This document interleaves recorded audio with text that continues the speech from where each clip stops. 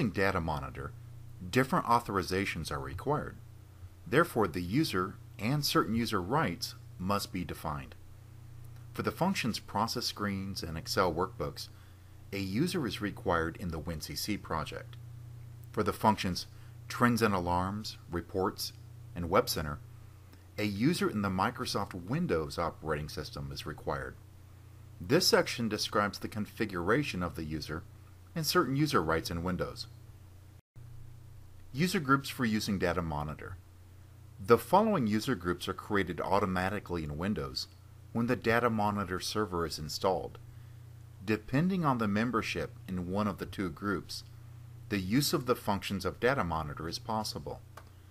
The membership in the user group dm underscore admin is required for administrative rights, especially for configuration purposes.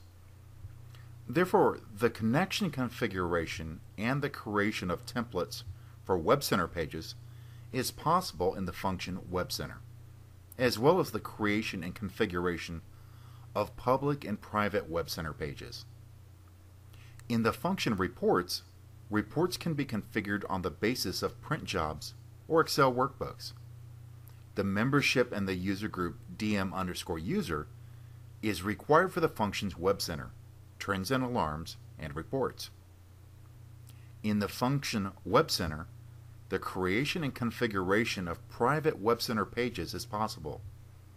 Public pages can only be opened. In the function Reports, reports can be opened on the basis of print jobs or Excel workbooks. In the function Trends and Alarms, pages for the respective user can be configured via the membership in one of the two user groups, dm underscore admin or dm underscore user. Due to the fact that there are two different users, one for Windows and one for the data monitor, it's possible that you might have to log in twice.